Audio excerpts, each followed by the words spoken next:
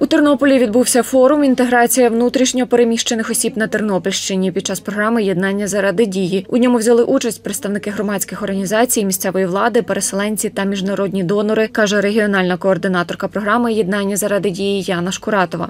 Це першочергово житлове питання, е, це питання працевлаштування і самозайнятості, це питання релокації якихось тих бізнесів, підприємств, які люди мали там.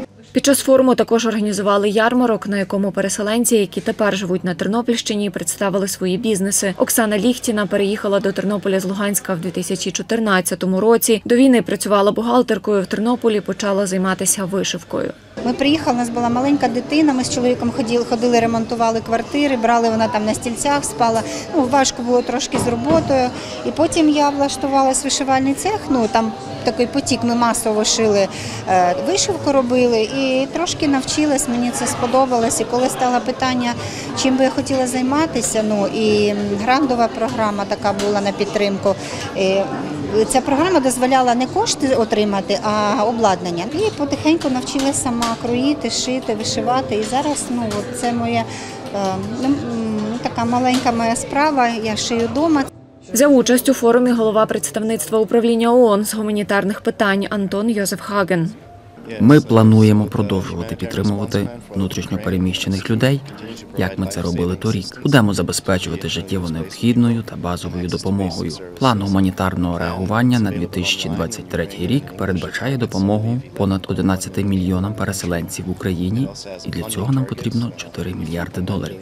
Ми вже почали фандрайзингові кампанії, де залучаємо міжнародних донорів для того, щоб покрити потреби, які зараз є в Україні. Антон Йозеф Хаген каже, оглянув ярмарок виробів внутрішньо переміщених осіб. На питання, що йому сподобалось найбільше, відповідає. Вишиванка, звичайно, також листівки з вельми відомим псом патроном.